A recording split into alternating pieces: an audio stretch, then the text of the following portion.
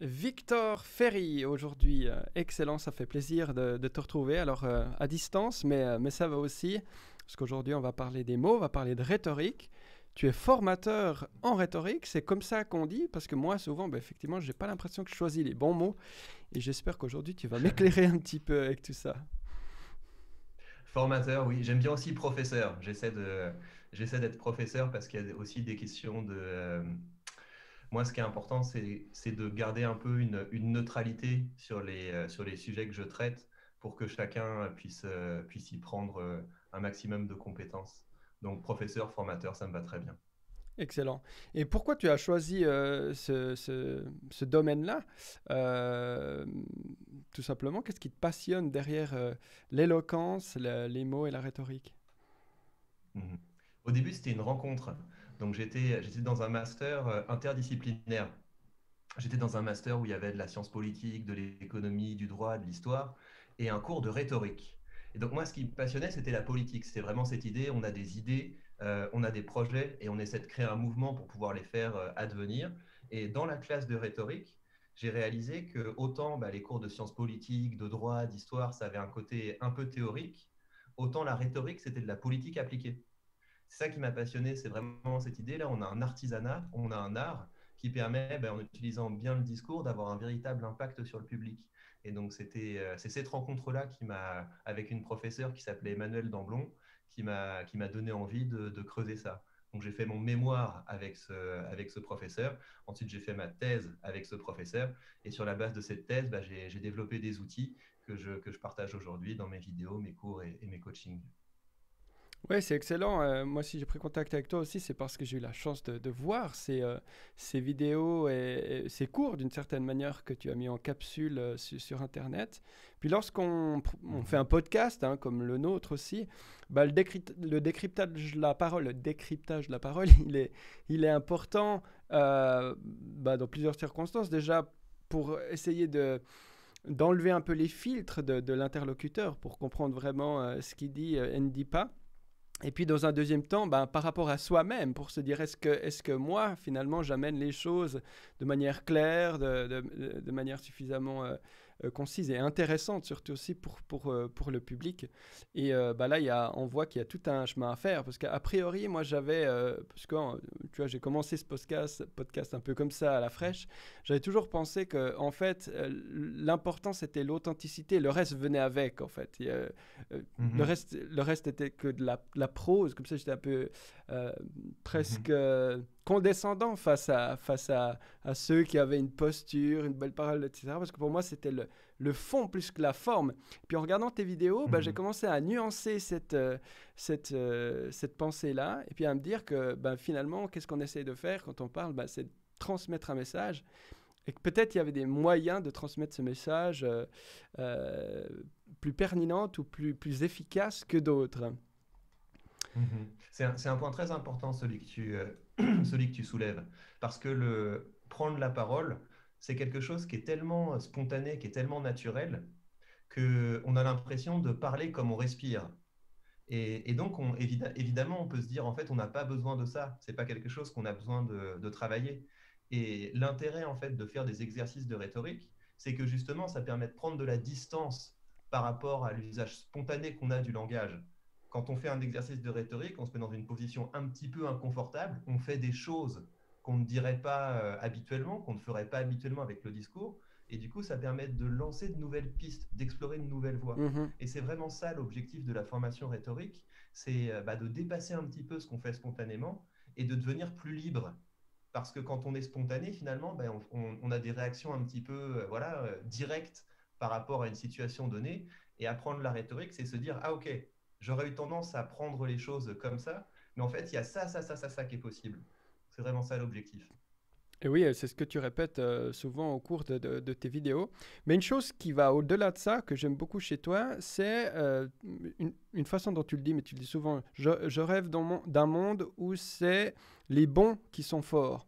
Euh, j'ai l'impression mhm. que derrière aussi ta, ta volonté de, de former, il y a une volonté d'équiper peut-être euh, plus, plus de gens pour se défendre contre euh, mhm. certaines personnes qui, qui, ont compris ces ficelles de la, la, rhétorique et qui impressionnent finalement et qui permettent aussi euh, d'une certaine manière, à générer des classes entre les élites qui savent bien parler et qui savent, et puis peut-être les autres euh, euh, qui ont un peu moins ces, techniques-là pour plein de raisons. Est-ce que je me trompe ou il y a aussi derrière ton engagement cette, cette, volonté-là?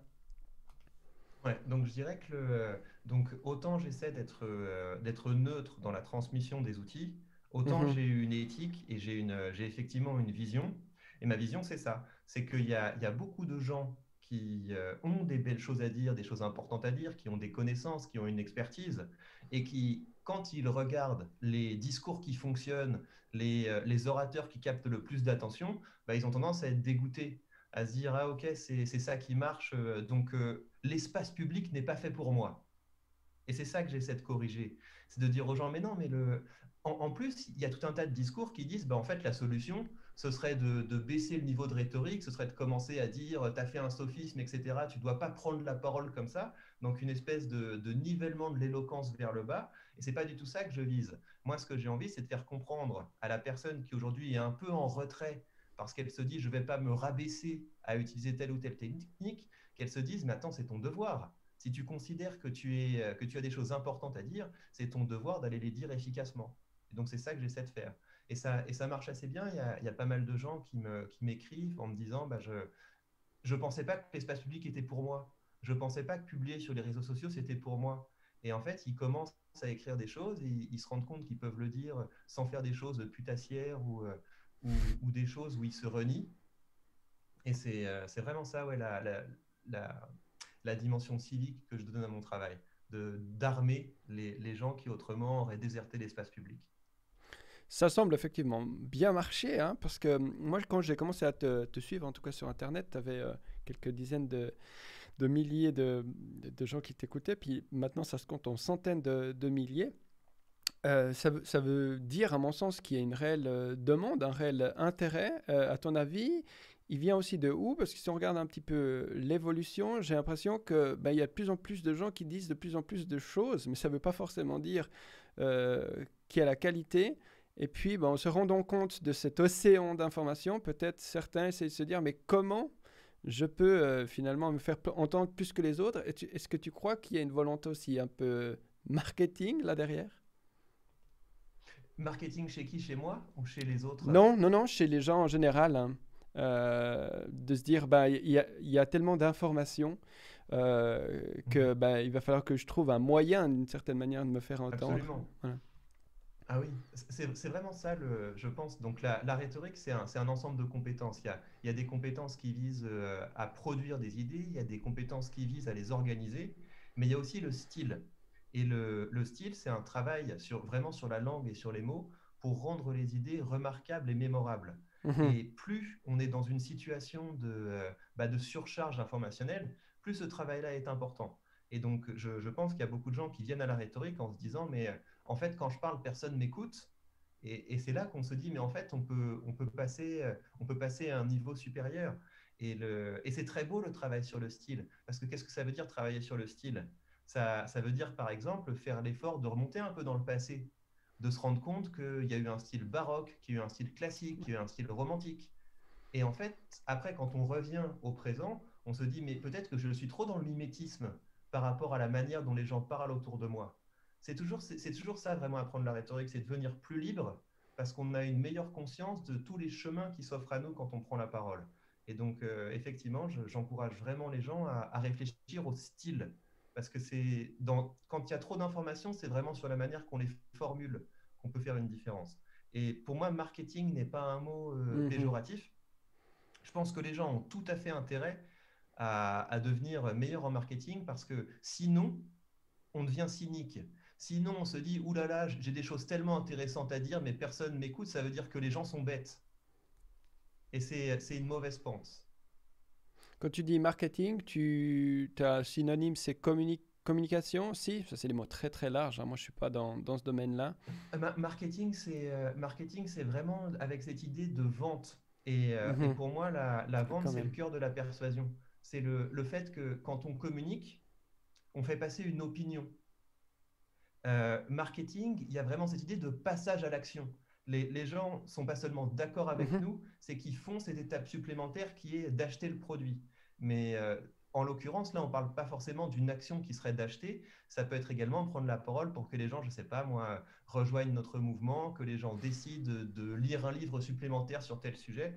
C'est vraiment cette idée-là de, prendre la parole en public, pas seulement pour changer l'opinion, mais pour changer les comportements.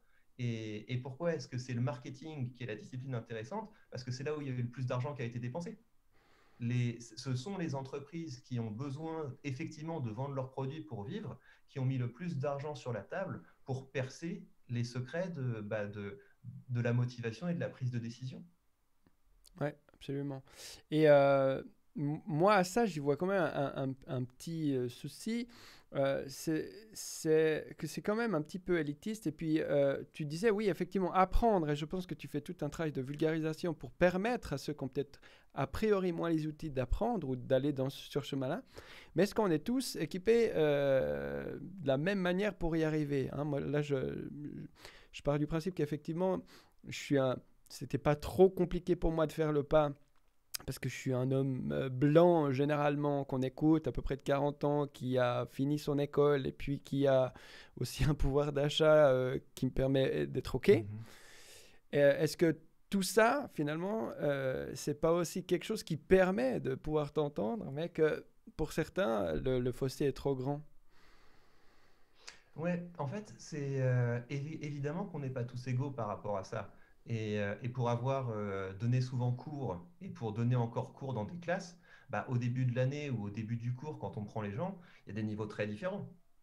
Mais ce qui est intéressant, c'est que ceux qui prennent spontanément la parole, ceux qui, ont, ceux qui sont les moins timides, ceux qui ont le, plus d'aisance, bah, c'est aussi ceux qui ont le moins de recul par rapport à leur marge de progression. Alors que moi, ceux qui au début du cours euh, bah, hésitent, osent pas, etc., bah, je vais aller les chercher euh, et eux, ils savent qu'ils ont beaucoup de progrès. Et donc, ils vont être beaucoup plus attentifs aux choses qu'ils doivent remettre en question. Donc, évidemment qu'on n'est pas égaux par rapport à la prise de parole. Euh, ceux qui sont naturellement disposés, bah, OK, ils sont, ils sont forts au début, mais ils peuvent stagner beaucoup plus tôt que ceux qui ont conscience du fait qu'ils ont vraiment besoin d'apprendre et, euh, qui sont confrontés et qui ont la chance d'avoir les bons outils entre les mains. Et moi, sur le, ce que je vois dans les... Parce que j'ai une chaîne principale, mais j'ai aussi une chaîne secondaire où là, je fais vraiment faire des exercices euh, aux gens et les gens qui participent à ces activités. Moi, ce qui me fait plaisir, c'est qu'il y en a déjà, ça vient de milieux sociaux très différents. Mhm. Et puis, il y en a beaucoup qui me disent, mais je n'aurais jamais pensé euh, que je pouvais écrire la première page de mon roman, j'aurais jamais pensé que je pouvais faire un discours structuré, etc. Donc, euh, il faut avoir conscience du fait qu'on est inégaux par rapport à ça, mais que plus on part de loin, en fait, plus le défi est beau et plus c'est satisfaisant, en fait, parce que les progrès qu'on fait sont rapides et concrets. Ouais, chouette, c'est une belle vision ça. Euh, tu disais tout à l'heure, il y a eu euh, des âges et des styles. C'est quoi le style contemporain aujourd'hui? J'ai l'impression qu'il y a beaucoup de bah, cynisme euh, aussi. Ouais, c'est difficile à l'encapsuler, mais tu as sûrement une réponse à ça, le, style le plus visible et prégnant aujourd'hui. Moi, je vois deux choses. Donc, effectivement, on est peut-être la, la génération où on se croit les plus intelligents. Parce qu'on a, tous, euh, on a tous ces outils, on a tous, euh, on a tous passé, etc. Et donc, dans tous les domaines, on le voit. C'est euh, Avant, ils étaient beaucoup trop premier degré. Les historiens, quand ils écrivaient les histoires de la nation, ils étaient beaucoup trop premier degré. Les artistes, quand ils cherchaient la beauté, ils étaient beaucoup trop premier degré. Les scientifiques, quand ils pensaient écrire la science, ils étaient beaucoup trop premier degré. Parce qu'on a des biais, parce qu'on a des, parce qu'on a des idéologies, parce que quand on pense dire la vérité, en fait, il n'y a que des points de vue, etc. Donc on est une, on est une génération qui, forte de toutes les recherches qui ont été faites au précédent, bah on regarde un petit peu le reste de nos semblables qui nous ont précédés, un peu de haut, en se disant ils étaient beaucoup trop premier degré. Alors, qu'est-ce que tu, excuse-moi, qu'est-ce que, qu'est-ce que tu veux dire par euh, premier degré C'est pas clair euh, pour moi. Qu'est-ce que tu entends par là? Donc, par exemple, euh, Michelet, quand il écrivait l'histoire de la France, il considérait que c'était vrai de dire que la France est une nation avec une histoire riche, une nation avec une mission, etc. Il était dedans. Alors que si on prend un historien contemporain, bah, il va avoir plutôt tendance à déconstruire le récit de Michelet en disant mais regardez, la, France, la France a sa part d'ombre, quand il raconte comme héroïque tel, tel phénomène, etc., en fait, ce n'était pas de l'héroïsme, etc. Donc on a tendance à relire les travaux de nos prédécesseurs en disant, ils prenaient ce qu'ils disaient pour la vérité, mais en fait, c'est beaucoup plus compliqué. Parce qu'aujourd'hui, on est à l'heure des biais, donc on, est tout le temps en train de regarder les biais. C'est ça, ça notre, notre génération. On n'est pas si rationnel qu'on le pense, on a tout un tas de biais. Donc c'est, bien parce que ça permet, de, ça permet d'avoir un regard plus critique sur ce qu'on produit, mais on est beaucoup moins dans l'action. On est beaucoup plus en train de, on est beaucoup plus en train de réfléchir. On est beaucoup plus dans un pas de côté. Et donc c'est ça pour moi l'ironie c'est que euh, en fait aujourd'hui, bah voilà, il va y avoir un homme politique qui va faire un discours pour dire on doit changer le pays de telle ou telle manière, et celui qui fait un mème sur les réseaux sociaux il le ridiculise aura plus de vues, aura plus de succès que celui qui s'est engagé, qui a engagé sa personne avec ses convictions. Donc pour moi, c'est ça le style de notre époque. C'est une époque où on est tous euh, un peu cyniques, tous un peu ironiques, et euh, où on se croit très intelligent parce qu'on a du recul, parce qu'on fait un pas de côté. Donc pour toi, si euh, j'entends bien, tu vois un petit peu un appauvrissement quand même de, de la rhétorique euh, dans le style que tu viens de définir, parce que ce serait un deuxième degré face au premier degré qui essaye d'être plus sérieux. et, c'est ça. C'est ça?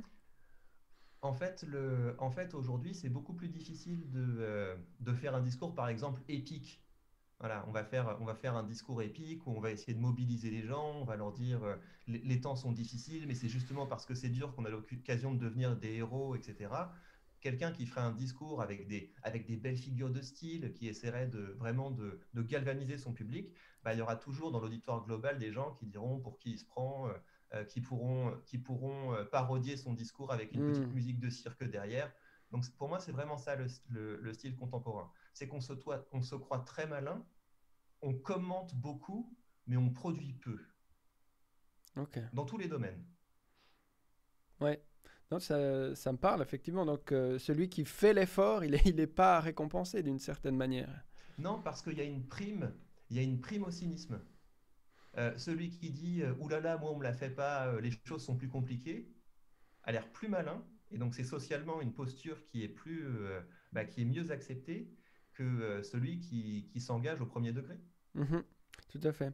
Alors moi, j'ai aussi par le passé été euh, formateur euh, dans le domaine de la réinsertion professionnelle et puis j'allais un peu aussi dans cette réflexion de, que dire pour convaincre un employeur, tu vois, d'engager, de, se faire engager, hein, enfin, d'engager le, candidat avec lequel je travaillais. Et on voyait qu'il y avait aussi le, stress hein, qui pouvait venir, qui pouvait euh, un peu casser cette, envie de dire des choses, et puis tout d'un coup on, s'embrouille. Hein. Donc cette idée d'avoir déjà, euh, de préparer une narrative avant, donc c'est effectivement de faire un effort préalable avant de parler. Est-ce que euh, c'est aussi quelque chose que, tu donnes comme conseil de dire, ben, des fois on dit réfléchir avant de parler ou tenir sa langue avant de, parler, ce serait aussi quelque chose qui permettrait de sortir un petit peu de cette facilité ou de ce cynisme? euh, Ou c'est un raccourci trop grand je, pense, mais il y, a, plusieurs choses dans ce, que tu, euh, dans ce que tu dis. Pour ce qui est des situations de stress, euh, le, meilleur moyen en fait de se, de se préparer à une, à une, situation de, de stress, c'est vraiment d'avoir la capacité de se dire, plus on est stressé avant, plus on a peur avant, plus on est content après. C'est vraiment cette idée-là, c'est quand, quand, on commence à, quand on commence à se mettre en mode petit animal apeuré, euh, avoir ce réflexe de se dire, en fait, c'est ça qui est bon. En, fait, c'est là que c'est important, c'est là qu'on est vraiment vivant, c'est quand on a peur, c'est quand on stresse pour quelque chose. Ça, ça m'a beaucoup aidé. toutes les fois où je devais donner des mmh formations, où je devais donner des conférences et où je commence à me dire, oulala, est-ce que je suis à la hauteur? Vraiment passer de oulala, est-ce que je suis à la hauteur? Ah, mais en fait, c'est là qu'on apprend. Et plus on a eu de difficultés avant, euh, plus moins on est stressé, moins on est stressé après. Mais est-ce que tu peux me, me, redire ce sur quoi tu voulais m'envoyer? Oui, oui, oui. Non, on peut continuer là-dessus aussi. Je reviendrai euh, après. Euh, ça me fait penser à l'analogie du, du, théâtre, hein, du stress euh, avant de rentrer en scène que tu, que tu dis, donc que, tu trouves ça en fait, et, que, et qui est presque un signe qu'on on fait bien les choses ou qu'on met l'effort nécessaire. En tout cas, c'est un, un, signe du fait que, une fois que ce sera passé, on sera content. Et juste le fait de se, de se projeter dans l'après, de se dire, mais en fait, voilà, c'est une épreuve. Et une fois que je, je l'aurai passé, je serai content, ça, ça fonctionne bien. Et d'autant plus que euh, plus on avance dans la vie, plus la barre pour euh, pouvoir ressentir du stress s'élève. Et donc aujourd'hui, je suis content quand je, quand je ressens encore de l'appréhension mmh avant une prise de parole parce que le, plus le niveau augmente, euh, moins on a cette occasion justement d'apprendre. Donc ceux qui aujourd'hui sont stressés pour prendre la parole, pour publier, pour passer un entretien, etc., c'est super. Ça veut dire que vous êtes dans une phase où vous avez vraiment beaucoup de choses à apprendre. Après, effectivement, c'est ce que je disais que c'était un peu inéluctable que ça allait arriver, mais je disais de sorte à quand même euh, limiter ce, stress parce qu'au bout d'un moment, il, péjore notre capacité à réfléchir. Hein, si c'est la panique euh, totale, eh bien, moi qui est cuisinier aussi à la base, hein, c'était un peu cette, euh, cette image que je prenais en disant si vous voulez passer un bon service, eh bien, il y a une bonne mise en mmh place, quoi, tout simplement. Et du coup, mon conseil, c'était vraiment de dire bah, prenez le temps qu'il faut, et il est différent pour chacun, pour essayer de faire en sorte que ce stress ben, reste dans, dans, les, dans l'admissible, quoi, dans le, dans, le mmh. sous contrôle. Tout à fait. Donc il faut, euh, c'est, enfin moi, enfin vraiment mon travail, mon travail, c'est de partager des, euh, des, petits scénarios en fait. Mon travail, c'est, de partager à ceux qui me suivent, ben voilà, euh, dans telle ou telle situation, vous êtes tenté de dire ça, mais il faudrait peut-être essayer ça. Ou alors dans telle mmh situation de prise de parole, ce plan peut bien fonctionner. Et donc, il faut, il faut trouver un équilibre entre ça, entre, entre le fait qu'effectivement, quand c'est structuré, on est mieux préparé.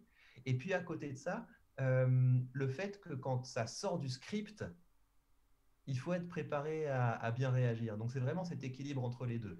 Et enfin, c'est comme ça aujourd'hui que je prépare mes cours, mes formations, mes interviews, etc. C'est que j'ai un temps de préparation et, euh, et ça me permet bah, de dire des choses qui sont structurées, qui sont claires, qui sont précises euh, même, même de façon un peu impromptue.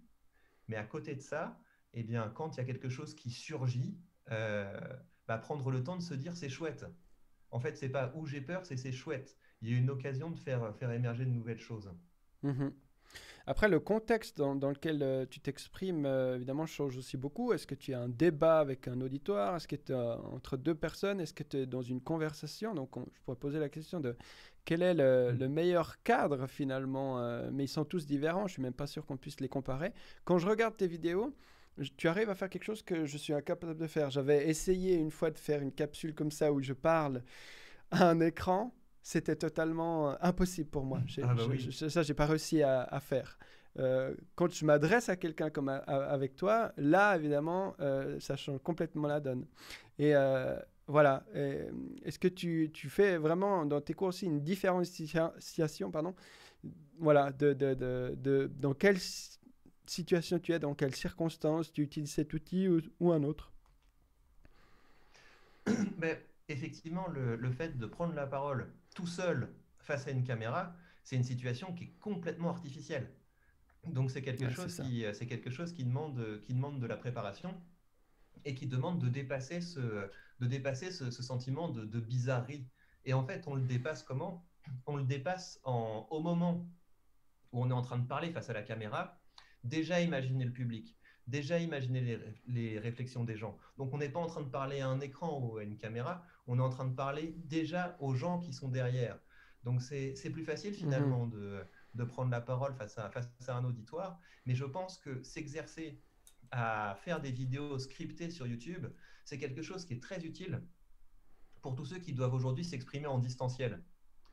En fait, pour moi, ça c'est le format le plus difficile. Le, format euh, où, on a une salle de conférence, où on a notre équipe, etc. On a les différents petits écrans, des fois ils les allument, des fois ils les éteignent. Et, nous, on doit prendre la parole par rapport à ça. C'est très difficile mhm. parce qu'on doit avoir la même énergie. On doit être aussi engageant quand on est face à un vrai public mais le public ne renvoie pas l'énergie. Donc il faut, il faut être capable d'en faire euh, un peu plus et surtout de ne pas se relâcher.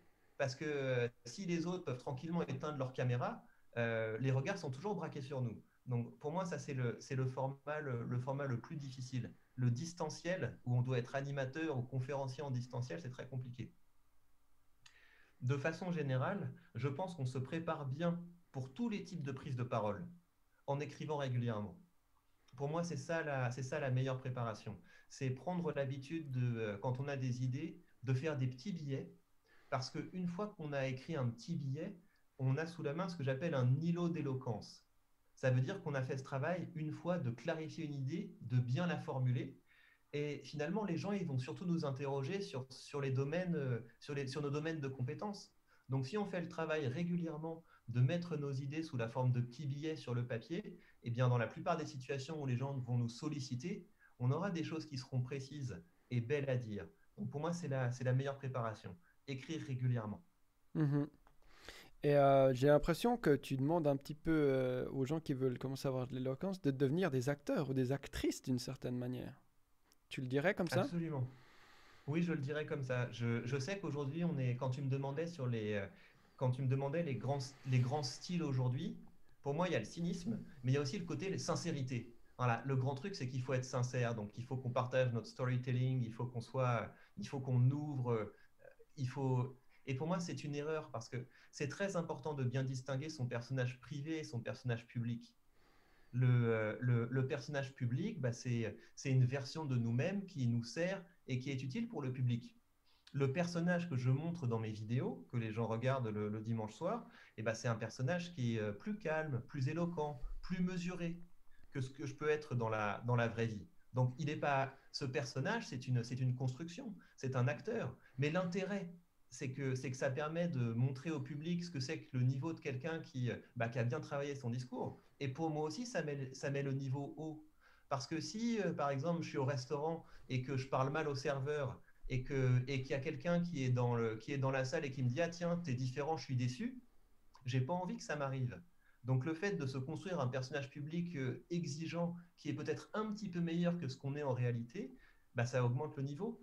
Et du coup, ça nous pousse à essayer de, bah, ne pas décevoir par rapport à l'image, euh, par, rapport à l'image qu'on a construite.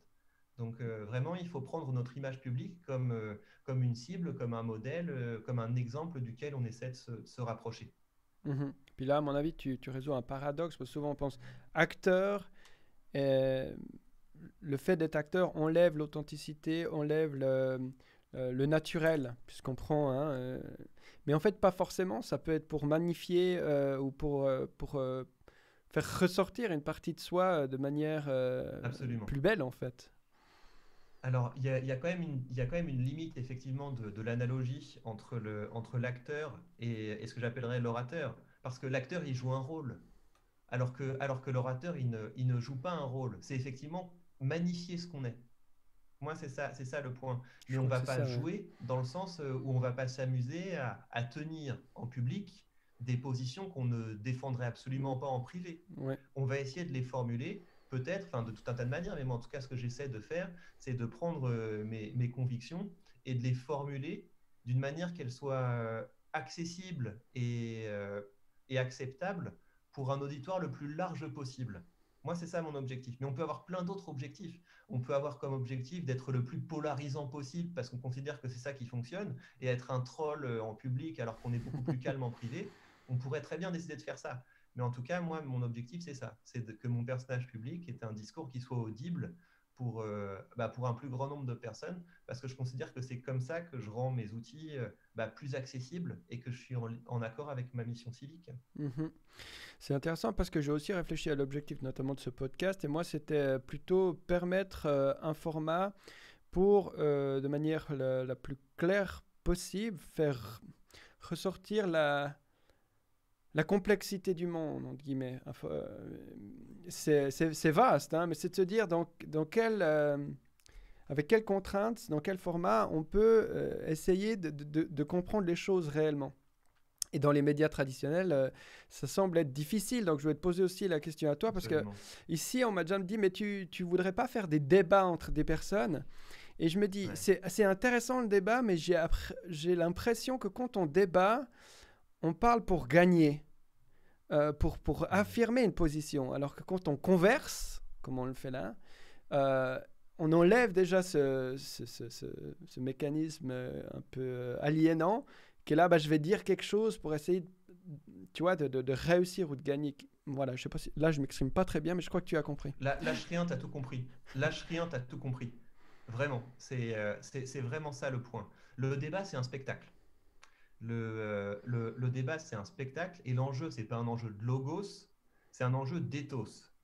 L'enjeu dans un, l'enjeu dans un débat, c'est il faut avoir l'air, il faut avoir l'air plus fort, il faut avoir l'air mieux armé que notre adversaire c'est très différent. Et donc, c'est un sport d'équipe, en fait, le débat. C'est euh, le représentant de l'équipe A euh, doit gagner sur le représentant de l'équipe B pour que, pour que les supporters soient contents. Donc, c'est vraiment un enjeu d'éthos. Mhm. Et donc, l'idée d'apprendre le débat, eh ben, c'est parce que c'est une bonne manière de se faire remarquer, c'est une bonne manière de se faire respecter, c'est une bonne manière d'être craint. C'est pas un enjeu de logos. C'est la conversation qui permet un, enjeu de logos. Parce que si on a envie de, de vraiment arriver au cœur de ce que quelqu'un pense bah, il faut, il faut s'installer. Il faut s'installer. Et donc, il y a deux possibilités de savoir ce que vraiment quelqu'un pense. On peut soit lire ce qu'il écrit, ou on peut se mettre dans une situation où, par les questions, on va l'amener, euh, on va l'amener à élaborer sa pensée. Parce qu'il faut comprendre que le débat, c'est une situation de stress. C'est une situation de stress, c'est une situation de, conflit. Oui, de guerre, absolument. Donc les idées qu'on va mettre sur la table, bah, enfin, on va pas nuancer, par exemple si on est dans une situation de guerre, l'objectif, c'est de surtout pas garder la face. Donc, euh, ce qu'on va montrer, c'est une petite partie conquérante et agressive de notre pensée, alors que la, conversation permet d'ouvrir. Et donc, c'est tout à fait le format que tu as choisi est tout à fait cohérent avec l'objectif que tu donnes de montrer la complexité du monde. Parce que quand on met les gens dans une situation où ils peuvent vraiment euh, s'installer dans un, dans un discours, quand on peut les relancer, ça la différence. Dans un débat, on prend la parole pour attaquer et pour déconstruire pour réfuter. Dans une conversation, on prend la parole pour approfondir. Dans un débat, les gens vont pas dire tiens, c'est intéressant ce que tu as dit, est-ce que tu peux développer? C'est la conversation qui permet de faire ça.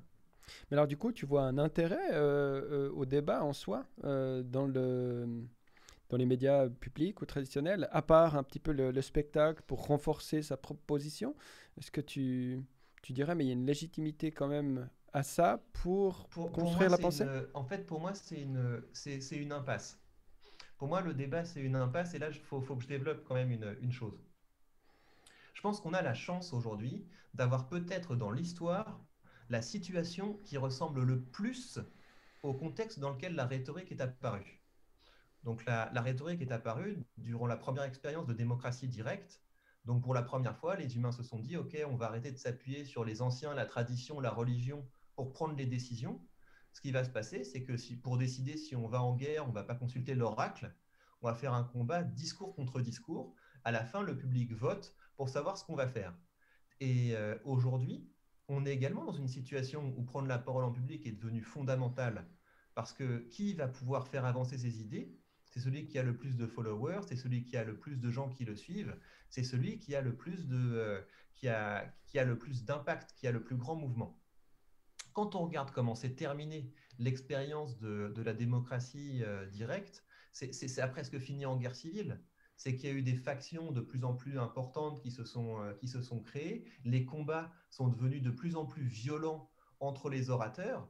Et je pense que si on veut éviter d'en arriver à ce, à, ce moment où cette chose très belle, où, il n'y a jamais eu autant de personnes qui ont pu prendre la parole, si on veut pas que ça, ça se termine mal, je pense qu'il faut qu'on fasse un switch de prendre la parole pour euh, affirmer des opinions à prendre la parole pour partager des connaissances et des compétences. Pour moi, c'est ça une prise de parole qui est utile. Une prise de parole qui est utile, c'est une prise de parole qui permet aux gens de monter en gamme, de monter en gamme, d'en savoir un petit peu plus, d'avoir progressé, de se dire tiens, je pourrais lire encore ça, ça et ça pour progresser. Mhm. Le débat ne permet pas ça. Parce que le débat, c'est un combat entre leaders d'opinion et j'ai envie de dire entre dealers d'opinion. Parce que qu'est-ce que c'est? En fait, un, dealer d'opinion, c'est quelqu'un qui va prendre la parole pour faire croire aux gens, bah regardez, en fait, là, il y a bientôt des élections qui vont arriver. Et en fait, ces élections, c'est fondamental pour votre vie.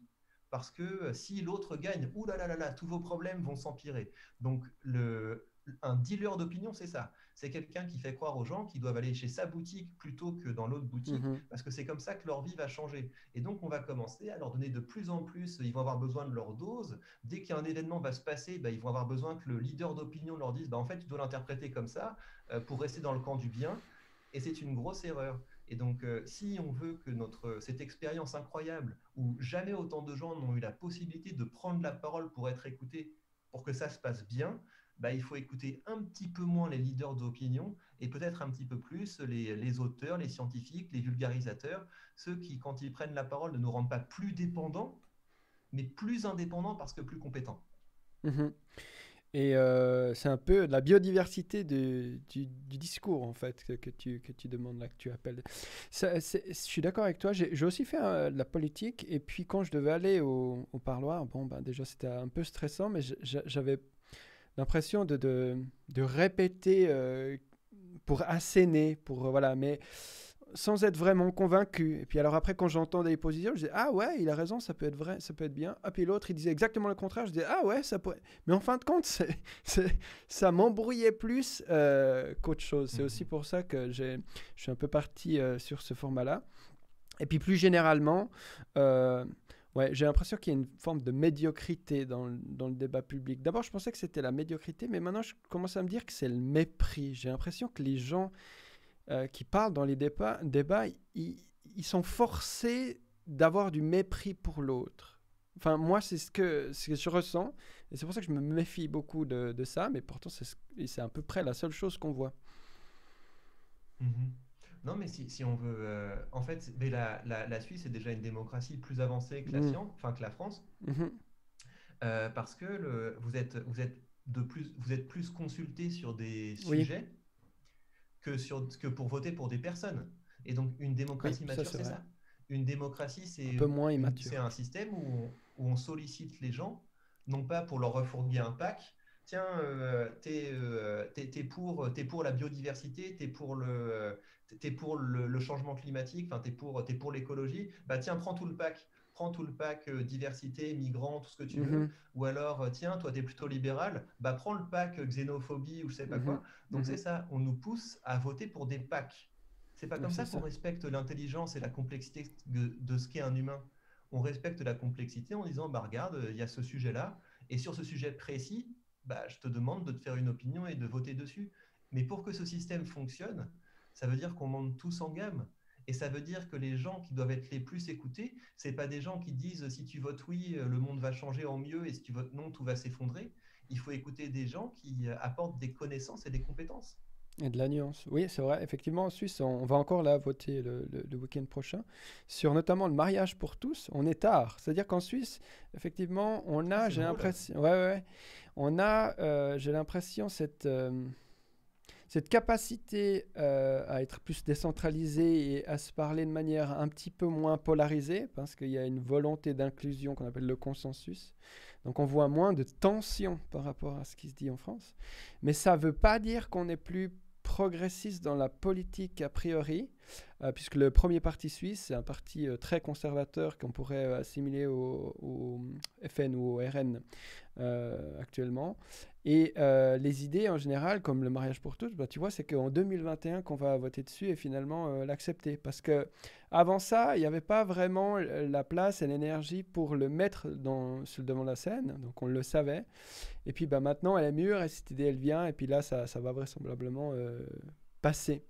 Donc, ouais. Mais si ça passe de façon moins violente, si, si, si, si ça veut dire qu'ils ont donné le temps aux opinions de maturer. Et Ouais, effectivement. Euh, je, je, vois là pas forcément quelque chose de, péjoratif, mais pour dire si on se place dans la, volonté d'un progressiste qui voudrait qu'il y ait moins d'inégalités, moins de, plus de, enfin, des meilleures solutions pour l'environnement, etc., eh ben on voit que c'est pas forcément plus de démocratie qui va directement pouvoir répondre euh, à ces questions. En tout cas, si on fait la comparaison euh, Suisse, Suisse-France, par exemple. Mais, mais, l'agenda progressiste en France, c'est une, une, catastrophe. Oui, dans, dans le sens où euh, si, si, on essaie de, si on essaie de faire... Euh, enfin, déjà, c'est pas une qualité d'être progressiste. Hein. On, peut être, on peut être progressiste aussi bien qu'on peut être conservateur pour de très bonnes raisons. Mais en tout cas, la, la, politique essaie de, essaie de pousser l'agenda progressiste. Et le, et le résultat, c'est qu'on peut très bien se manger une, un, retour de bâton euh, comme Trump aux États-Unis. Donc, donc quelqu'un qui dit bah, il y en a marre de toutes vos bêtises, euh, c'est un complot, je sais pas quoi, euh, on va, on va, on va remettre les choses à leur place. Et donc plus on essaie de, de, de, faire manger aux gens un agenda politique qui n'est pas en accord avec leurs convictions profondes, bah, plus on risque de faire trois pas en arrière. Donc, c'est pas forcément une, bonne idée. Non, tout à fait. Il n'y a pas de temps de passage.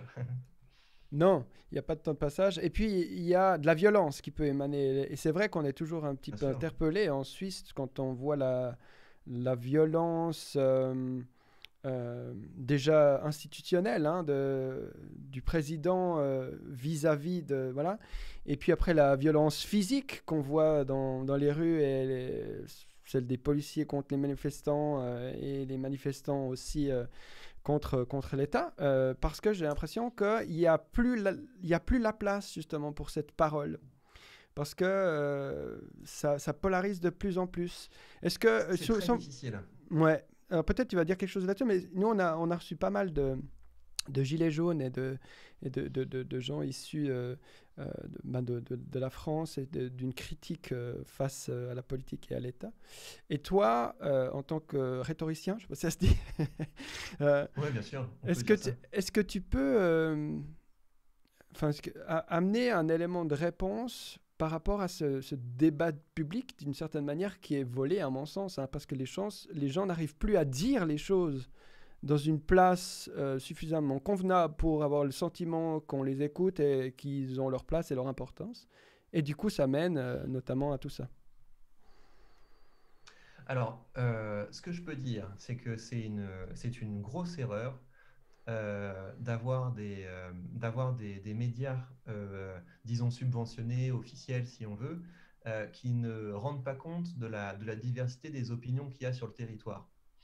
Pourquoi? Parce que euh, évidemment qu'il y a beaucoup de, nouveaux médias qui se, qui se développent, de nouveaux médias qui se développent, qui permettent effectivement de, s'installer dans des formats plus longs, de faire intervenir des gens qu'on n'entendrait pas dans les médias traditionnels. Mais souvent, c'est euh, ces nouveaux médias qui permettraient de faire émerger une pensée plus, euh, bah, plus développée, plus, plus sur les connaissances et les compétences, et bah, ces nouveaux médias se considèrent comme des médias de combat du type on est engagé euh, en combat contre les médias traditionnels. Alors que non, c'est pas ça le point.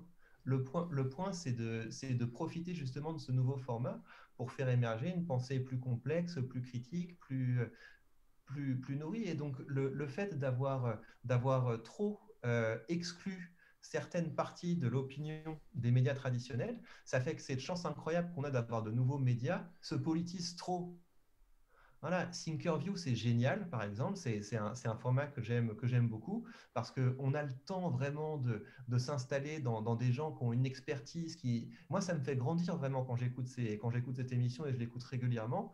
Mais il y a derrière une idéologie qui est une idéologie de euh, on veut renverser le système, etc. Et je trouve que cette idéologie ne permet pas aux gens d'aller jusqu'au bout de leur quête de connaissances. Parce mmh qu'il y a toujours un moment où ils finissent par se dire si ma vie n'est pas aussi bien que je ne l'aimerais, c'est à cause du système. Mhm. Et donc, tant qu'on n'aura pas de changer le système, je ne serai pas pleinement heureux. Donc, euh, ouais, moi, je, serais pour que les. Euh, enfin, voilà, il faut. En tout cas, il y a une, bonne manière de, profiter de, cette, de ces nouveaux médias qui émergent, de ces nouveaux formats qui émergent. Et j'espère que, ça va, que ça va contribuer à moins de polarisation, à une, à une pensée plus complexe. Mais pour le moment, on n'en prend pas tellement le chemin parce que les nouveaux médias se considèrent comme des médias de combat. Mhm. C'est peut-être euh, un pas de l'escalier avant l'autre, mais on est aussi dans ces réflexions, euh, parce que des fois on nous appelle de Thinkerview suisse. Euh, mhm. C'est intéressant, mais je suis, effectivement, je pense qu'il y a un peu des, nuances. On, on, est plusieurs dans, dans, l'équipe, et il y a des fois une volonté comme ça de, de, combat, une posture de combat en disant, ben, ils font pas le boulot, on va le faire à leur place, mais du coup on est une opposition. Et puis, euh, des fois, euh, ben, un peu comme tu viens de le dire, se dire, mais est-ce que finalement, alors on serait l'autre face de la même médaille? Et puis, du coup, de se dire, mais est-ce qu'on ne veut pas être complètement différent? Et puis, euh, sans forcément leur jeter l'opprobre, se dire, ben voilà, on incarne une autre réalité. D'ailleurs, notre, notre, notre slogan, c'est la, la, vérité au pluriel. et puis... mais vous devez être lucide. Vous devez être lucide sur le fait que vous allez faire venir des gens parce que ça marche ce discours-là. ça, marche très bien ce discours pour promouvoir une émission, de dire euh, bah, on va faire intervenir euh, ceux à qui on ne donne pas la parole, etc. Il, faut avoir une espèce de, combat comme ça qui permet mhm. de, mhm. fidéliser euh, l'audience, mais de temps en temps, il faut faire cet effort justement de faire, de faire intervenir des gens qui peut-être ont un point de vue plus officiel, mais de les mettre dans un format où ils vont avoir le temps de, bah, de s'installer, de développer plus leurs idées que dans le cadre de formats qui sont, euh, qui sont mhm. complètement scriptés. Ça, c'est, euh, c'est intéressant pour plus officiel. Et puis, qu'est-ce que tu dirais pour euh, plus raciste ou... Parce que tu vois, on est tous racistes, moi j'ai l'impression, parce qu'on a des biais qui, qui, qui, datent depuis, depuis longtemps. Et puis, on a cette réflexion de se dire, ben, et les gens qui pensent pas comme nous, alors bien sûr, personne ne pense comme personne, donc de toute façon, nous, on ne pense pas la même chose. Mais à quel moment on va, on va se dire, bah là, c'est plus sain? Parce que, et, ça, c'est une question aussi auquel on n'a pas réussi à trancher. Alors, je pense que c'est une, une, erreur euh, quand euh, c'est le pouvoir public qui euh, trace cette frontière.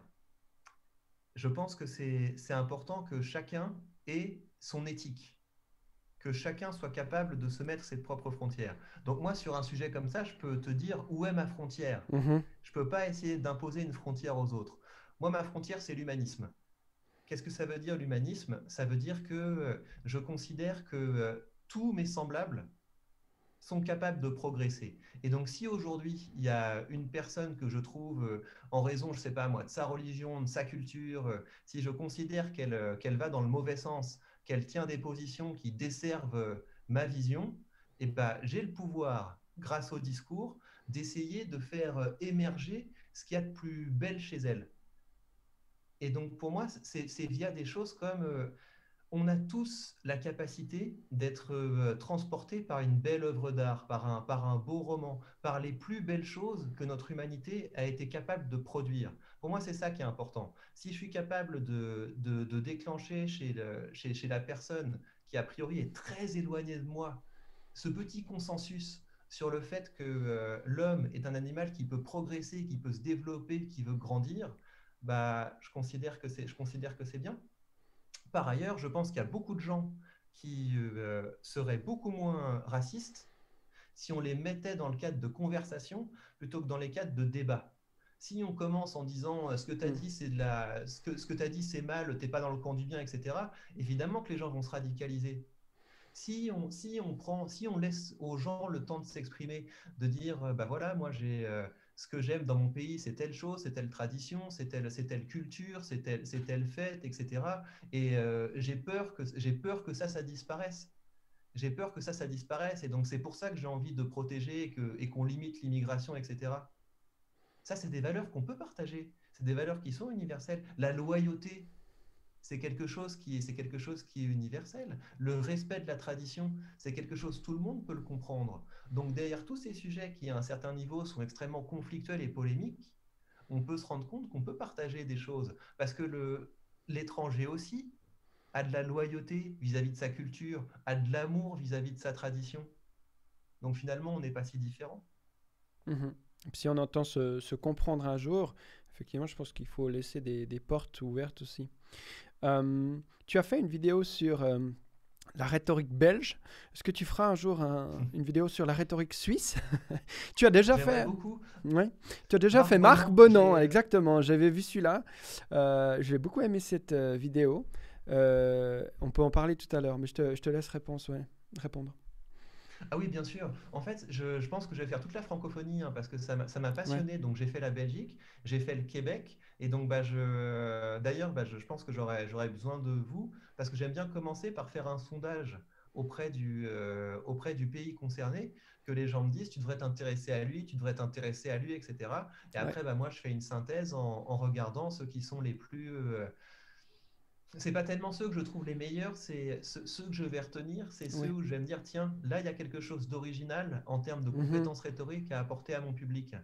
Voilà. Mais donc ouais, avec avec euh, avec grand plaisir. Euh, je dois je dois regarder qui qui est important chez vous. Alors, ben, je me suis un peu posé cette question-là. Qui, qui chez nous a une grande capacité rhétorique? Ils sont certainement légion. Euh, mais c'est vrai qu'en Suisse, euh, des fois, on, se moque souvent de nous en disant que bah, nous, on est, on n'a pas peur du ridicule, mais au moins on est sincère. Puis quand tu regardes, par exemple, nos conseillers euh, fédéraux, parce qu'en Suisse, on n'a pas un président, enfin oui, un symbolique, mais chaque année, il change, puis il y a sept conseillers fédéraux. Bah, c'est vrai que c'est déjà, il n'y a pas une marque comme ça qui est développée euh, comme euh, avec votre président très centralisé, très léché, très réfléchi au millimètre près. Donc il y a une authenticité qui sort. Puis après, ben, ils ont plus ou moins leurs euh, différences. Il y en a un dernièrement là, parce que c'était le ministre en charge de, de la santé, Alain Berset. Alors là, il est dans la tourmente pour des affaires personnelles. Normalement, en Suisse, euh, on ne s'intéresse pas trop aux affaires personnelles, nos conseils fédéraux, même aux, aux, affaires extra-conjugales, qui semblent être le cas. Mais il aurait utilisé une limousine pour aller en Allemagne. Enfin bref, j'en passe. Lui, il a dit un truc qui était retenu. ouais, c'est rare. En Suisse, c'est chaud. Mais euh, ça va. Ça ne fait pas vraiment la une des, des, journaux, pas trop longtemps en tout cas. Ça, ça c'est vrai que ça nous intéresse moins. Et je crois que c'est ça, en fait, quand même, d'une certaine manière. Après, s'il y a eu euh, malversation sur euh, de, domaine public, c'est-à-dire l'utilisation personnelle d'argent, bon, là, c'est une autre question. Enfin bref, je ne vais pas aller là-dessus. Mais c'était pour dire, il a dit, c'était le ministre, donc euh, il doit gérer la pandémie. Donc il a pris tout de suite beaucoup plus de place parce qu'il était tous les jours à la télé, etc. etc. Donc on n'avait pas l'habitude d'un ministre comme ça qui est mis en avant.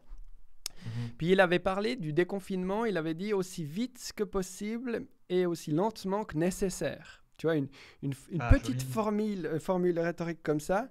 Et on voit maintenant en Suisse des t-shirts avec cette formulation. Euh, tellement c'est rare comme ça pour, pour être marqué. En général, c'est pris euh, euh, de manière relativement bon enfant en se disant bah, c'est rigolo on n'a pas l'habitude, il n'y a pas forcément un jugement derrière pour se moquer de, de notre ministre là. Donc euh, après, si tu veux que je te donne des noms, moi j'avais pensé à Henri Guimin, je ne sais pas si tu as entendu, mais c'était un, un, historien conférencier. Euh, mhm. Et lui, c'est plutôt un conteur, à proprement parler. Je pense que ça pourrait être une ah, figure intéressante pour toi. Sinon, c'est vrai, je dois dire qu'en Suisse, ben, on, on, se démarque moins. On a moins comme ça de, de, figures sortantes qui voudraient mettre la tête hors de l'eau puis dire Regardez, moi je parle bien. Comme peut-être chez vous, un Mélenchon, où euh, vous en avez beaucoup des grands orateurs, euh, j'ai l'impression, vous. Donc c'est assez différent. Mais oui, mais c'est le. Euh, c'est. C'est peut-être sain de ne pas avoir justement trop de, trop de leaders d'opinion parce que plus il y a de grands orateurs qui captent l'attention, euh, plus ça déresponsabilise, j'ai l'impression quand même. Le, euh, quand on a un champion de notre opinion, bah, on se dit ça va pas être à moi de la défendre. Donc ça, ça c'est assez cohérent avec votre système démocratique, le, euh, le fait qu'il n'y ait, pas de, de figure qui, qui capte toute la lumière. Donc c'est, c'est peut-être aussi un niveau de maturité plus avancé.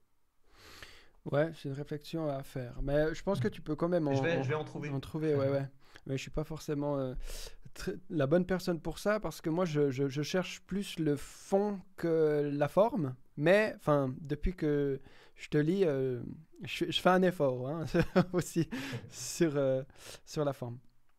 Voilà. donc là, les présidentielles, tu disais tout à l'heure les présidentielles hein, de 2022, ça c'est toujours des moments où justement où les leaders d'opinion se, se font de plus en plus pressants. Quels seraient les, les, conseils que tu as Parce qu'on sent hein, déjà la, la, pression monter. Mhm. Mais vous êtes un peu toujours en, en, élection, vous, présidentielle. Mais là, ça se rapproche. Mhm. pour pour peut-être donner quelques outils aux, Suisses quand ils ont un peu des bribes comme ça d'informations et de petits bouts de discours euh, percutants. Euh, euh, à quoi faire attention quand on écoute ces, ces gens souvent brillants au niveau rhétorique?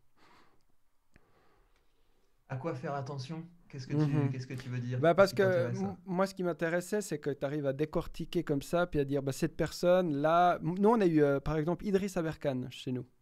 Et puis, tu as fait mhm. une vidéo euh, sur lui, euh, en expliquant aussi comment il, quel, outil rhétorique il utilise comme ça pour faire passer un message, ça rend, ça rend pas le, ça rend pas le fond du message moins moins pertinent, hein, les, outils que tu montres, hein, comme il, fait exprès de casser des, enfin de dire des choses que normalement on n'a pas l'habitude d'entendre, comme j'ai donné l'exemple de Berset tout à l'heure, puis du coup qui, capte l'attention comme ça, et, puis aussi qui nous dit d'une certaine manière, euh, bah, tous les possibles euh, existent, mais on, vous met une chape euh, sur votre esprit, donc libérez-vous, hein, d'ailleurs c'est le titre de son... Et du coup, je trouve que c'est toujours bien d'avoir un peu des, des clés de lecture comme ça pour se dire, ok, est-ce que je me fais tromper ou pas? Est-ce qu'il y a quelque chose que j'ai pas vu ou pas? Et là, dans, dans les mhm. médias, ben, on a, vous avez qui? Vous avez ben, Macron, vous avez Le Pen, vous avez peut-être Zemmour. C'est toutes des figures différentes. Mhm. Mélenchon. À quoi faire attention? Quels sont les filtres, à mon avis, à ton avis, pardon, qu'il faudrait qu'on mette dans le champ du visible, qu'ils ne le sont pas forcément? Je moi, je vous conseillerais euh, et je le conseille à tout le monde d'ailleurs, d'aborder le, d'aborder le discours politique en, rhétoricien. Et aborder le discours politique en rhétoricien, c'est les aborder en se posant deux questions.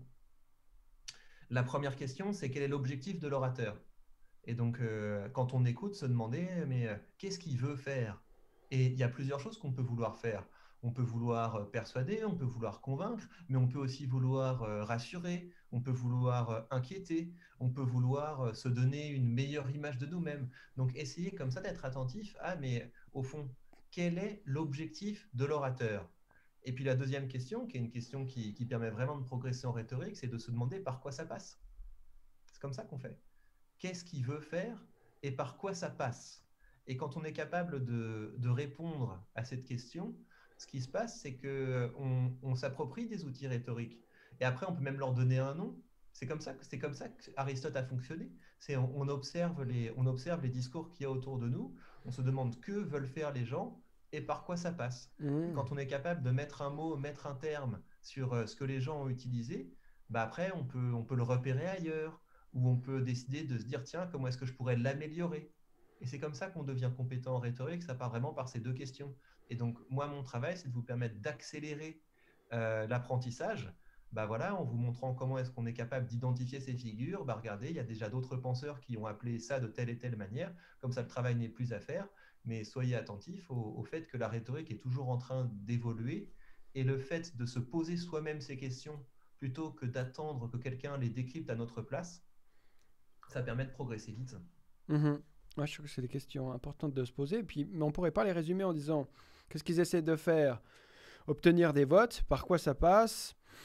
Par le scandale, par le slogan, par euh, la hum, simplification par tout ça.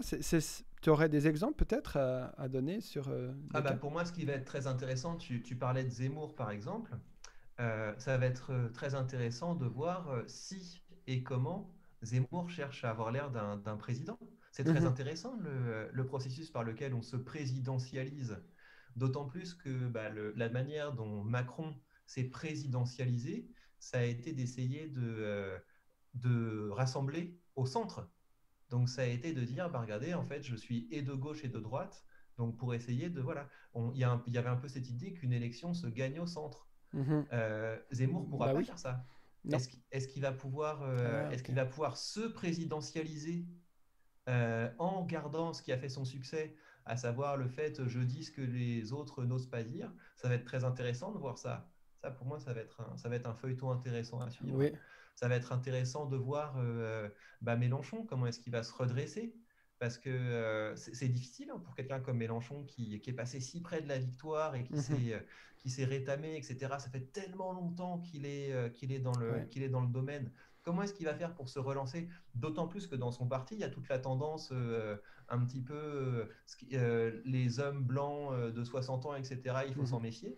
Comment est-ce qu'il va faire? Comment est-ce qu'il va faire pour pas se faire déborder par quelqu'un qui va incarner ce, nouveau courant de la gauche identitaire? Donc ça va être, ça va être très intéressant à suivre. Est-ce que Macron va y aller? Est-ce que comment est-ce qu'il va défendre son bilan?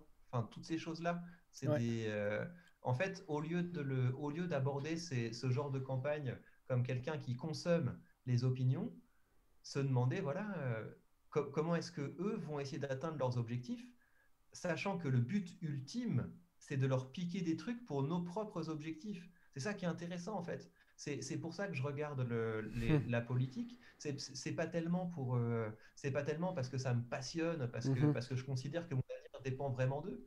C'est parce que euh, vu que ce sont des gens qui sont engagés dans un, dans un vrai combat, vu que ce sont de vrais animaux politiques, qu'est-ce qu'ils peuvent m'apprendre bah, pour faire grandir ma chaîne YouTube, pour faire grandir mon business, pour, euh, pour faire avancer mes causes? C'est ça la finalité. C'est un, un très beau spectacle dont on peut apprendre plein de choses. Excellent. Et là, dans la rhétorique de Zemmour, par exemple, la question c'est est-ce que euh, son but c'est de vendre son livre ou est-ce que son but c'est de hmm. devenir présidentiable Et là, tu as une réponse à ça? Ah non, j'en sais rien. Je, moi, je trouve ça très intéressant. Je ne sais pas s'il veut, je sais pas s'il veut vraiment y aller. Euh, s'il veut pas vraiment y aller, comment est-ce qu'il va gérer toutes les attentes qu'il a, toutes les attentes qu'il a suscitées?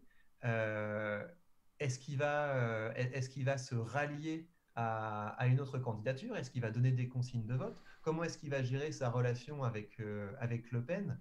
Donc c'est c'est intéressant. Pour le moment, non, je ne sais pas. Je ne sais, mhm. pas ce qu'il, je sais pas ce qu'il cherche à faire. Je sais que ça marche très bien, que, ça lui permet de... parce que ça pourrait être ça, hein. ça, ça, ce serait très intelligent si c'était ça, de se dire je suis censuré de plus en plus dans différents médias, donc, je vais me faire une tribune en, étant, euh, en étant un candidat, parce que ça permet effectivement de parler. C'était la démarche de Coluche d'ailleurs. C'est mhm. quand, quand, Coluche a commencé à être euh, censuré dans différents médias, il s'est dit bah, je vais me faire une tribune en, partant pour les présidentielles. Chez Zemmour, j'imagine qu'il y a quelque chose de, plus sérieux et de plus profond.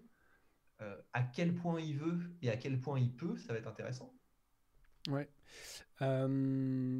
Alors, je suis pas sûr qu'il soit vraiment censuré. Enfin, il revient de loin parce qu'il est de l'omniprésence totale sur tous les plateaux de, des médias, euh, on va dire traditionnels, à un petit peu moins la censure. c'est pas la même pour euh, bah, des gens non, c'est vrai. Euh, qui n'ont pas cette et notoriété. Vrai, ça, c'est fou, c'est qu'il arrive, c'est qu'il arrive à, à, faire passer ce message. Mhm, mhm. C'est qu'il arrive à faire passer ce message d'une citadelle assiégée. Donc c'est et, ça, c'est vraiment, en fait, ça c'est aussi un truc, un truc rhétorique qui est important. En gros, euh, en gros celui qui gagne, c'est celui qui est capable de, faire passer l'autre pour l'idiot utile du statu quo. C'est comme ça qu'on gagne. C'est en, disant, euh, vous, vous avez que des mesurettes, vous ne prenez pas les vraies décisions, mais moi j'ai le courage. Et lui, il arrive à, effectivement, c'est ça qui est génial dans, sa, dans son parcours, c'est qu'il arrive à maintenir une énorme exposition médiatique avec le euh, je suis l'outsider qui dérange pas mal d'avoir réussi à faire ça. C'est assez incroyable. Mais je pense qu'il est aidé aussi par une système narrative qui cherche aussi euh, les, les, figures marquantes comme ça, puis qui va choisir un peu le... Euh, c'est pas l'exceptionnalisme, mais le, le, tu sais, pour, pour, faire parler quoi, le, spectacle, quoi, la, la, politique spectacle. Il rentre bien dans ce, ce cadre-là. Ça, ça, va faire le buzz, quoi, parce qu'il dit des, des choses. Euh, ouais. Toi, tu appelles ça la politique, enfin la, le dialogue scandale ou la rhétorique scandale ou quelque chose comme ça Oui, tout à fait. Euh, et donc, et donc j'imagine oui que c'est euh, beaucoup plus intéressant d'avoir euh, d'avoir d'avoir Zemmour sur un plateau en termes en termes d'audience que, que, que quelqu'un de plus sage. Mhm. L'audience qui est un indicateur économique aussi, parce que après ça, ça voudrait dire qu'on peut vendre des ah publicités. L'objectif c'est que ça rapporte. L'objectif c'est de mettre des pubs et que ça, que ça fasse des vues, et tout à fait, bien sûr. Mhm y compris les chaînes de domaine public, trop souvent, euh, en tout cas en partie. Euh, un, sujet aussi que j'aimerais parler avec toi, c'est moi dans ma formation, notamment comme je t'ai dit tout à l'heure, euh, quand j'enseignais, enfin je préparais les, les candidats à la recherche d'emploi, je parlais beaucoup de la posture non verbale. Mhm. Et je crois que tu as une position, tu as travaillé pas mal là-dessus, parce que ça va un peu à, à l'encontre de peut-être l'importance que tu euh, que tu comprends du, discours, euh, de, l'éloquence, etc. Parce que finalement, le non-verbal ou la théorie non-verbale disent que les mots ou le, ton, tout ça, c'est minoritaire dans, l'essence du message. Et puis ce qui est le plus important, c'est le regard, c'est la gestuelle, c'est le sourire, c'est la posture, c'est euh, les mouvements, c'est le silence peut-être, etc., etc. Et, du coup, bah, je voulais en parler avec toi parce que je trouve ça assez intéressant. C'est vrai que moi, en tant que aussi ex-recruteur, j'essayais d'observer les, les, les, participants. Maintenant, c'est vrai, quand je me dis, je me pose la question honnêtement, qu'est-ce que je retirais de l'observation du non-verbal versus le verbal? Et j'ai du mal à répondre à cette question. Donc, euh, je te passe la parole.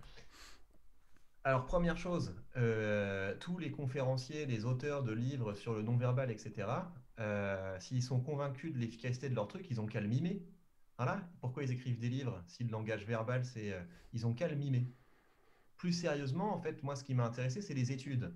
C'est les études où on a, où on a mis face à face un expert du non-verbal avec des gens qui ne sont pas du tout formés. Et donc, il y a plein, plein, plein d'études qui, euh, qui montre, par exemple, sur la détection du mensonge, euh, celui qui s'intéresse aux micro-expressions, etc., euh, bah, il se plante une fois sur deux comme, comme quelqu'un qui le ferait au hasard.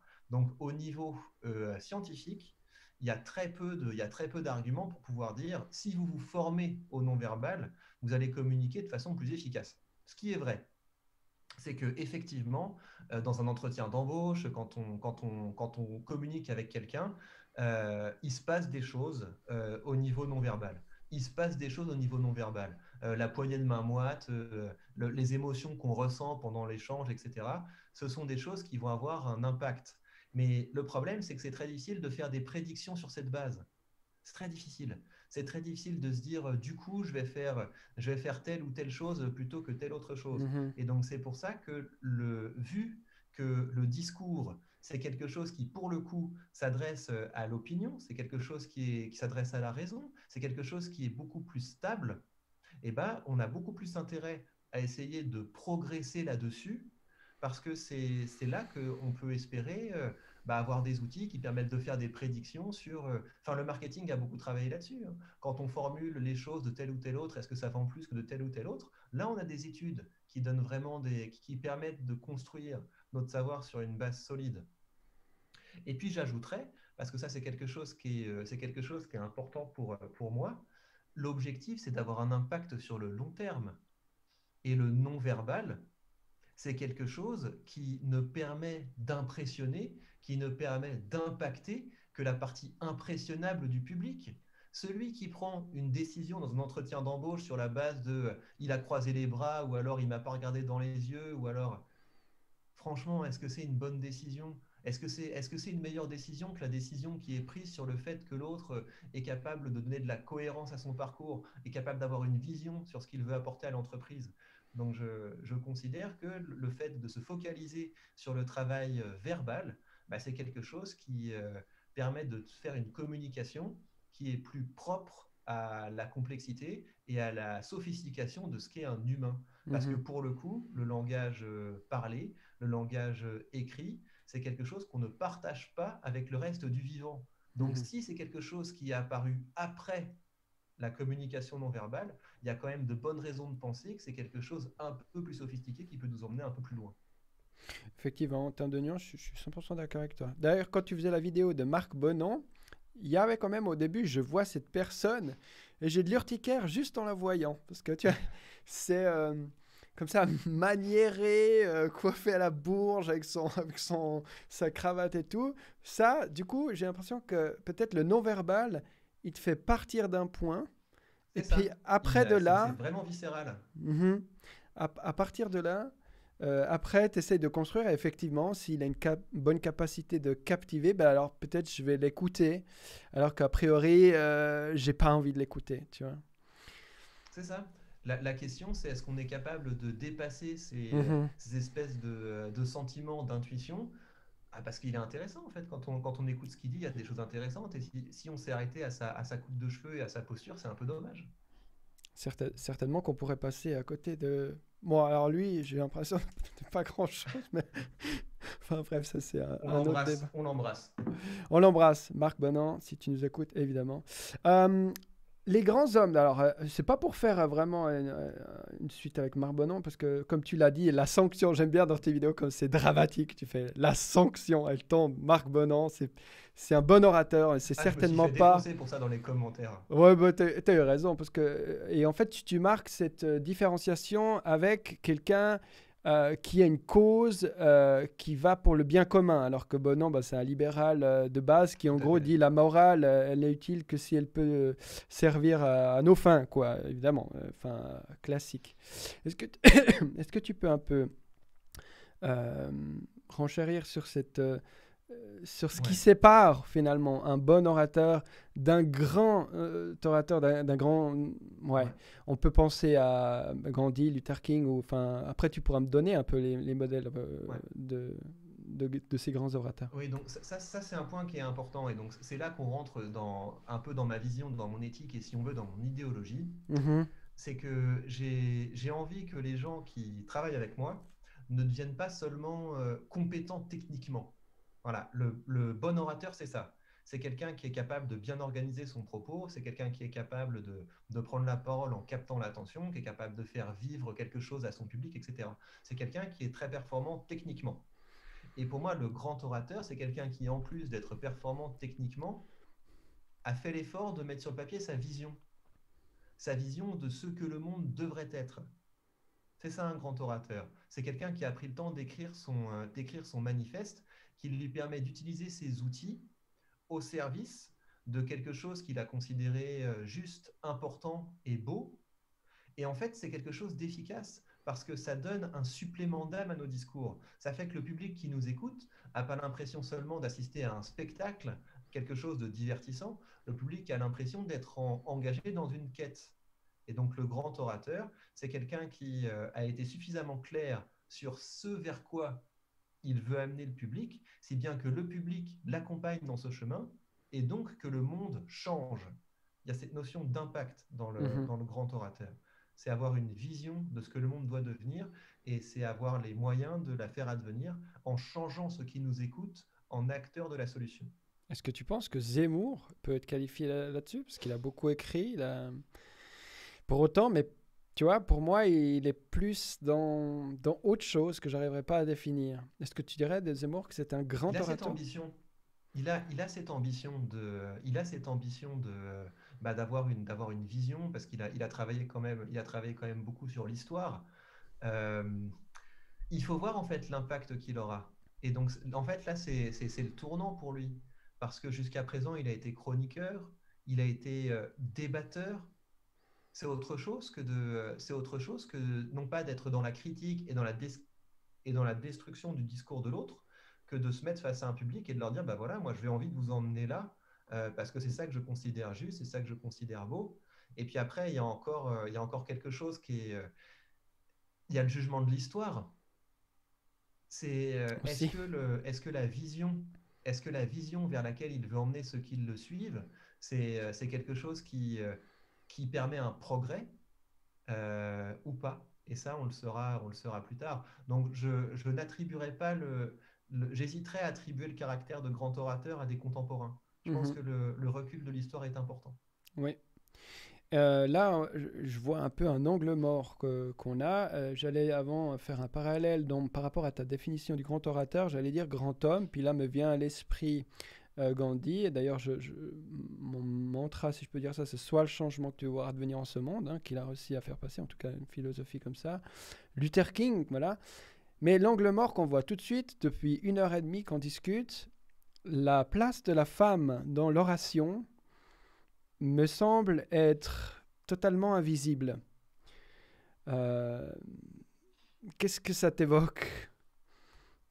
Bah que effectivement elle part de plus loin elles, euh, partent de beaucoup plus loin pour des raisons qui sont à la fois historiques, parce que les, euh, les, les, exemples de... Il y a, plus d'exemples de grands orateurs qui nous viennent à l'esprit que d'exemples de, de, grandes oratrices. Donc euh, elles partent de beaucoup plus loin en termes de représentation de ce qu'est un, homme politique, de ce qu'est un grand orateur, mais elles partent aussi de plus loin pour des, raisons qui sont, même psychologiques, parce qu'il y a des études qui montrent que la, crédibilité qu'on va accorder à un orateur est aussi corrélée à des choses comme le, la hauteur de sa voix. Ouais. Quelqu'un qui a une voix plus grave est jugé pour plus compétent. Donc effectivement, elles partent de plus loin. Et, euh, et moi, quand je vois les statistiques de ma chaîne YouTube, c'est 80-20. Je suis, je suis suivi par 80% d'hommes et 20% de femmes. Nous aussi. Mais moi, j'ai envie, de, envie de leur dire que euh, bah justement, elles, elles, partent de, elles partent de loin. ce que tu disais au début. Donc, euh, elles, elles, auront beaucoup plus de mérite. Et, euh, et pour moi, un des discours qui m'a le, plus, qui m'a le plus marqué ces dernières, ces dernières années, c'est le discours de la reine d'Angleterre au début de la crise du coronavirus. Pour moi, en termes de, en termes de charisme, en termes de, de capacité à, à, apparaître comme un personnage rassurant, comme un personnage qui console, comme un personnage qui remobilise, c'était un très beau discours. Donc, euh, l'histoire rhétorique euh, des, des, oratrices, c'est quelque chose qui, euh, qui est à ses débuts, et, mais ça va être une belle histoire. Certainement. Je pense qu'elles rétorqueront que c'est encore à nous de devoir faire des efforts pour nous adapter à finalement peut-être euh, une discipline plus, plus, masculine, masculine, alors qu'on pourrait se dire, bah non, créons plutôt. c'est, Moi, j'ai été surpris, hein, parce que les statistiques chez nous, elles sont les mêmes, hein, 80-20. Euh, alors, c'est peut-être YouTube en soi, mais je pense pas. Euh. Déjà, déjà, YouTube est un réseau masculin. Je, je, je pense. La, PDG, la PDG de YouTube essaie de, essaie de mettre en avant les, les créatrices. mais ouais, le, mais, mais en fait, c'est très simple c'est que euh, moi, ça m'arrive que j'ai quand même des commentaires sur mon physique, tu as changé de coiffure et machin truc, mais euh, beaucoup de fois, quand ce sont des vidéastes, des femmes qui prennent, la, qui prennent la parole sur YouTube, elles sont beaucoup, beaucoup plus facilement jugées sur leur physique. Oui. Et c'est terrible. Quand, quand, on prend la parole pour... Moi, ça me saoule. Quand quelqu'un fait des remarques sur euh, comment tu es habillé, comment tu t'exprimes, mais écoute ce que je dis, bon sang. Et, et les femmes subissent ça beaucoup plus. Oui. Donc je, donc je comprends que donc effectivement il y a, y a aussi un travail il y a aussi un travail de bah, d'éducation de pour euh, parce que c'est trop dommage. Clairement culturel. Euh, là aussi, hein, on a plus aussi dans les invités, mais il m'arrivait assez régulièrement de demander à des femmes de venir faire cet exercice euh, auquel tu te prêtes. Et quand je dis que c'est filmé, etc., c'est tout de suite effectivement plus compliqué. Ça ramène une contrainte que nous, ben, on s'est filmé, ah ben, c'est cool, on va en ma tranche. C'est, c'est pas la même chose. Il faut mettre un uniforme. Ça, ça c'est, c'est vraiment un truc que je, que je voudrais donner aux, aux, vidéastes féminines qui veulent, qui veulent s'engager. Moi, j'ai un, j'ai, un, j'ai, un, j'ai un costume pour mes, pour mes vidéos, j'ai un uniforme. Et pourquoi est-ce que j'ai un uniforme? Ça veut dire que je mets la même veste et euh, j'ai un roulement de t-shirt, mais c'est toujours les mêmes t-shirts. Euh, parce que ça me permet de ne pas me prendre la tête avec euh, comment est-ce que je vais m'habiller, à quoi je vais ressembler, etc. Donc, toutes les choses qu'on peut mettre en place pour euh, neutraliser les débats sur, sur, sur l'apparence, pour nous pas avoir à se poser ces questions du type à quoi je vais ressembler, etc. Uniforme, voilà. On, se, on choisit une tenue dans laquelle on se sent bien, on se trouve beau, on se trouve, on se trouve à l'aise, et puis on arrête, on, on, referme le sujet et on se focalise sur ce qu'on peut apporter. Mmh je crois que là, la, problématique, effectivement, est profonde, éducation, culture, habitude, euh, etc. Euh, je continuerai cette discussion avec peut-être des femmes, je l'espère en tout cas dans un futur proche. Bah euh, c'est dommage. ouais, avant. et puis, les, les, grands oratrices, les grandes oratrices et les grands orateurs, est-ce que tu aurais quand même des, des exemples qui t'ont toi-même marqué et que tu utilises peut-être pour garder la ligne ou pour te rappeler à, ce qui t'a inspiré euh, au début? Euh, Moi, ce qui m'inspire, c'est les artistes plus. C'est euh, ça en fait qui me en fait qui qui m'inspire et qui me pousse à qui me pousse à me dépasser. C'est ça que je regarde pour pour garder la, la ligne je regarde les, euh, les grands peintres, euh, je regarde les, les, grands auteurs et je regarde les grands compositeurs. Parce qu'en fait, le fait euh, d'écouter, bah, d'écouter un beau morceau de musique, de, de, regarder une toile, une belle sculpture, etc., ça permet de se dire, non mais regarde, tout ce que tu as fait, c'est bien gentil, mais, mais t'es quoi en comparaison de ce chef-d'œuvre? Et donc ça permet de remettre du contexte, ça permet de reprendre de la perspective. Et de l'humilité. Donc, tout à fait. C'est ça. Un personnage comme Phèdre, J'aime bien Phèdre. connais pas. Ce, ce, personnage qui est, euh, ce personnage qui, euh, est déchiré par les pires passions qu'on puisse, qu'on puisse imaginer. C'est la mythologie. Excuse-moi, je suis très inculte. je oui, sais pas donc qui Phèdre, Phèdre, c'est Phèdre, c'est ce personnage. Donc dans la, donc c'est un personnage mythologique, mais donc le mhm. Phèdre de Racine est pour moi un sommet. C'est un personnage qui est, elle est amoureuse du fils de son mari. Donc elle est, euh, elle est engagée comme ça dans un amour adultère. Elle va lui avouer son amour et elle va franchir tout au long de la pièce euh, les barrières de la morale. Et pourtant, elle arrive dans les, dans les dernières scènes à renverser tout ça euh, en, protégeant sa dignité et en faisant ressurgir de la beauté dans sa dernière tirade. donc des personnages comme ça, je trouve ça très inspirant. C'est à ça que ça sert en fait de se plonger dans des fictions, de se plonger dans des tragédies, c'est que ça montre des, des personnages qui euh, sont confrontés à des situations qui sont sans doute bien pires que celles qu'on peut vivre, qui les affrontent euh, avec une, hauteur morale, avec un, niveau de discours qui est tout à fait impressionnant. Et le fait de se plonger dans ces, grandes œuvres, ça permet de se dire, OK, je ne suis pas encore au niveau, je vais travailler un peu plus. C'est ça qui me motive, plus que les orateurs. Mhm. Donc là, euh, la musique, tu aurais des noms, tu aurais des... Parce qu'on euh, utilise aussi ce, vecteur de podcast pour, mhm. euh, pour inspirer euh, les gens. Et la question qu'on pose régulièrement, c'est... Elle est double. on que deux questions qu'on pose à tout le monde la même. C'est quelles sont tes sources? C'est-à-dire où est-ce que tu vas chercher l'information? Mais là, mhm. on en a, on a déjà. Et qu'est-ce qui t'inspire? Pour avoir un peu... Thinkorview, ils disent, si vous aviez une bouteille achetée à la mer, ou la dernière question, c'est voilà, qu'est-ce que vous donneriez? Ça ressemble un peu à ça, c'est pas exactement la même chose. Ça, du coup, c'est un peu la question euh, que je te pose. Euh, ah, mais il faut. Euh, toutes les personnes qui, après, après un siècle ou deux siècles, les noms sont restés, oui. bah, ça, vaut le coup de, ça, ça vaut le coup. En fait, mmh. ça, ça vaut le coup de se plonger là-dedans. Après, moi, ma, sensibilité, j'aime bien les Russes et, et les mmh. Français. J'aime bien, j'aime bien écouter Moussorski, je trouve ça très beau. Rachmaninov, je trouve ça très beau. Et sinon, dans les Français, j'aime attends, Attends, attends, parce que, encore une fois, un culte, euh, les noms que tu as donnés, c'est des musiciens C'est quoi? Ouais, c'est des, des, compositeurs. Des compositeurs. Des compositeurs, des compositeurs ouais, d'accord. Et, et, chez les Français, j'aime euh, j'aime beaucoup écouter euh, Ravel, j'aime beaucoup écouter Debussy. Parce que c'est voilà, très, c'est très musical.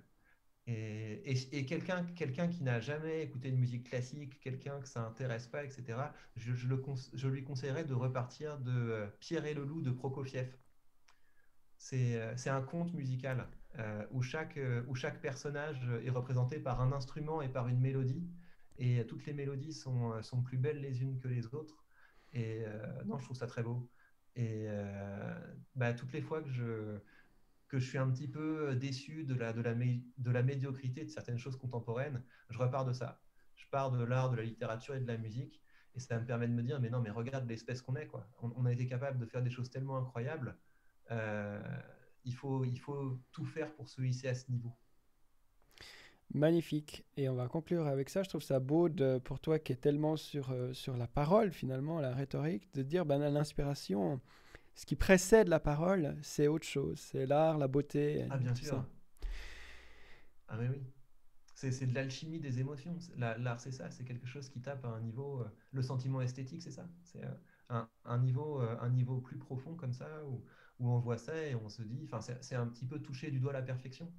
Et ça, et ça nous dit, ça existe, ça peut exister, on peut s'en rapprocher. Eh bien, merci pour cette euh, profondeur. C'est toujours ce qu'on espère euh, pouvoir atteindre lorsqu'on converse avec nos, invités. Victor Ferry, c'était vraiment un grand plaisir de, t'avoir. Alors, pas en vrai, presque, mais euh, en tout cas, c'était chouette. Merci beaucoup et belle journée à tout le monde. Ciao, ciao.